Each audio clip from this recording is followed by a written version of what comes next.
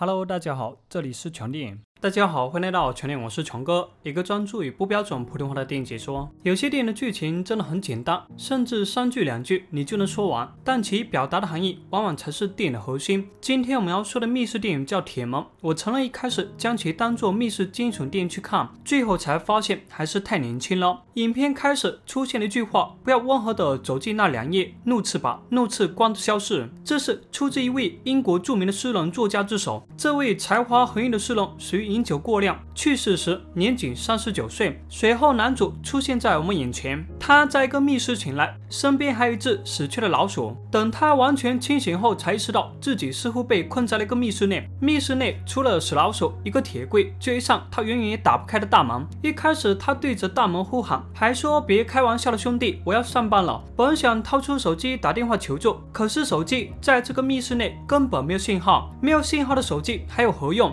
男主被气得半是。那个锁着的铁柜内到底有什么？他更不知道自己为何被关在了这里。之前的一些事情他也想不起来，他完全没有意识到自己的处境到底有多艰难。尿急了就直接拉开大门放水。可随着时间的推移，他越来越烦躁，因为不管怎么对着大门呼喊，不管说什么，那边连一点反应都没有。然后就在房间内各种撒泼。我想说，留着力气寻找出路不香吗？当时间到了第二天，男主已经没有多少力气去折腾了，手机还是那样没有信号。最尴尬的就是本想将手机放在口袋里面，却掉了下来，然后直接摔坏了。看来这肯定不是诺基亚，诺基亚摔散开了，装起来还是可以用。第一天，男主可以直接拉开大门放水，但第二天他用自己的鞋子接尿，然后喝了下去。虽然很恶心，但这样的方式是对的。人缺水可活不了太久。喝完尿后，男主又开始造作了起来。他对着顶上的灯拍来拍去，最后发现这上面竟然有一把钥匙。好不容易将钥匙给弄了下来，然后他打开了旁边的铁柜，里面到底有什么？在没有打开的那刻，我都很好奇。最后才发现，里面竟然是喷火枪，还有氧气瓶一类的东西。这难道是让他自己破开大门吗？男主一开始还很开心，然后对着顶上的消防喷头一顿猛操作，最后才发现这喷头就是闹着玩的，根本没有水。现在当务之急就是破开大门，找到出去的路。但这大门比他想象的更加坚固，火烤竟然毫无作用，这让他生气的对着顶上的消防喷头照做了起来。可是杀气也解决不了他被困在这里的事实。没力。气的男主终于坐了下来，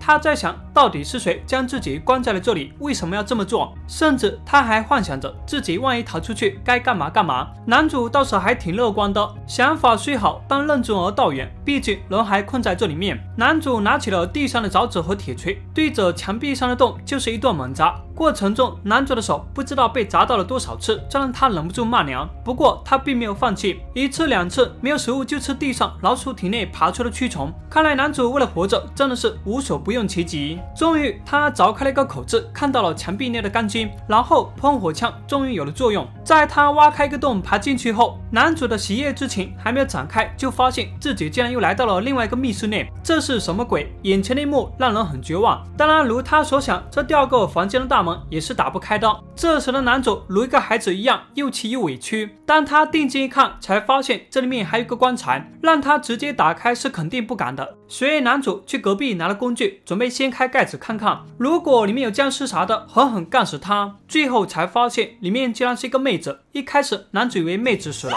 当妹子跳起来后，反而被吓一跳。但奈何对方说的是德语，两个人根本无法沟通。妹子害怕的跑到了另外一个房间，男主要过来，这行为让他更加的害怕。而这个女人就是我们的女主。女主看到一个陌生人害怕是正常的，男主显然也不想吓她，最后只能先在这边休息。谁料后来女主竟然爬了过来，她叫醒了男主，因为她需要男主继续当苦力。如果没有男主的话，他们可能会一直被困在这里。然而没有食物和水，又能坚持多久呢？现在他们打算在第二个房间凿一个洞出来。一开始他让女主扶着，然后他用铁锤，但是女主担心砸到自己的手，所以就反了过来。但女主的这点力气，猴年马月才能凿穿。最后还是男主自己来。男主的嘴巴一直抱怨着，但因为两个人的语言不通，所以就各做各的。毕竟彼此之间要说信任还谈不上。女主最后生气的骂了男主是个没种的男人。但男主其实也很累，如果他有食物有力气，哪会不想出去呢？当男主发现女主去另外一个房间是为了小便，急忙跑了过去。男主可不是为了对女主做一些猥琐之事，而是为了让她将尿液给收集起来。毕竟男主被困三天，三天没有喝多少水。虽然两人语言不通，但女主似乎也明白了男主所说的意思，按照他说的去做了。随后，两人又回到了第二个房间内，因为他们还没有完成工作。女主坐下来表示：“我很思念我的家人，但我也不记得自己为什么会来到这里，或者说之前的一些事情都不记得了。”当然，这些话男主是听不太懂的。但看到女主哭了，男主显然也有点不好受，他只能安慰对方不要放弃。虽然语言不一定听得懂，但人脸上的表情和说话的语气本身也能感觉到一二。男主说：“你唱首歌听听吧。”男主带头，最后女主也被他所感染，原本还比较生疏的关系瞬间就拉近了。就在此时，男主的手被铁锤砸到，女主急忙帮他包扎，然后两个人发现配合之下，后面的门竟然有打开的动静。一开始他们以为是别人的恶作剧，但每次配合的时候就会有反应，可是，一转身就停了。男主表示不能盯着大门看。然后用倒推的方式，最后终于打开了这扇门。可门的另外一边并没有任何人，只有另外一个房间，还有一个木坑和一块墓碑。可墓坑内啥也没有。这个房间是几个意思？难道是让他们来解密的？可是解密的也不像啊。若是如第二个房间一样，那么他们是不是可以用同样的方式打开大门呢？他们在那个墓坑内各种凿，各种挖。可是弄了许久，门都没有反应。男主累得动不了了，他太虚弱了，他觉得自己可能真的出不去了。然后男主盯着女主，再看看手上的工具，他在想：难道设计这个游戏的人是为了让自己吃掉女主吗？如果真的踏出这一步，不就和野兽一样？虽然这样确实会延缓活下去的时间，但这终究是男主不愿意做的。男主放弃了。女主得知男主并不想杀害自己，帮他爬上了墓坑，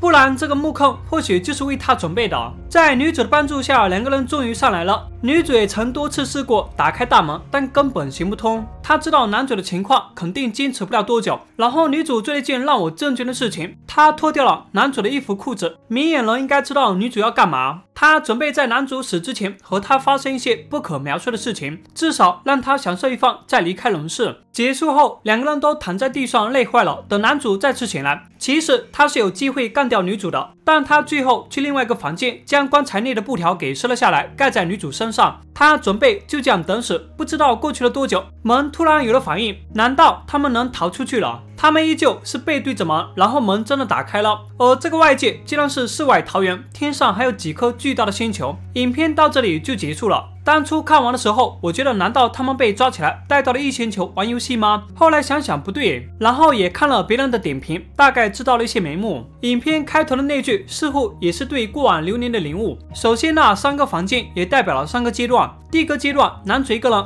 如同一个刚入社会的年轻人一般，然后为了建立自己的事业，为了生活在不断的努力，当然也尝试了各种办法，最后发现那些看似捷径的办法，最后都是无用的，比如直接打开门。比如用手机，比如用喷火枪，通通行不通。最后就辛苦的脚踏实地的凿穿墙壁才可以。然后男主进入到第二个阶段，在这里他遇到了一名女人，其实也暗示了家庭的到来。最初我们都是一个人，然后有了家庭。而在这里导演想要表达的一点就是，家庭如果是各干各的，是没有幸福的。最初的两人其实就是如此，一开始他们不熟悉，肯定不会接触，但认识之后也有各种摩擦。如同两个人磨合的过程，最后就是携手努力，一起凿墙。当两个人合作的那一刻，幸福之门悄悄打开，他们也进入到第三个阶段。而这个阶段其实更像是中老年的阶段。那个没有名字的墓碑和一个已经挖好的坟墓，不是最好的证明吗？此时的死神正在召唤他们，是去往天堂还是地狱，选择都在于他们自己。当然，如别人说的一样，这里面突然有一段不可描述的桥段，我也是不太理解的。当然，也有可能是为了阐述每个人年轻的时候为了追求各种而忽视了彼此之间的感情，但到了生命的尽头才知道去珍惜。老来扶持确实很重要。当你要放弃的那一刻，另外一半在旁边鼓励你，甚至拉着你不让你走。当最后一刻，他们来到了仙境一般的地方，这里应该就是天堂，这就是他们死后该去的地方。这一点相信大家很好理解，因为这里不太可能是外星球，毕竟电影中的隐喻确实也很明显。当然，也有人说他们早就死了，然后这里只是他们去往天堂和地狱的考验，一念天堂地狱。不过每个人的看法都不同，只要你能从中悟到东西就行了。好了，本期视频就到这里，我们下期再见。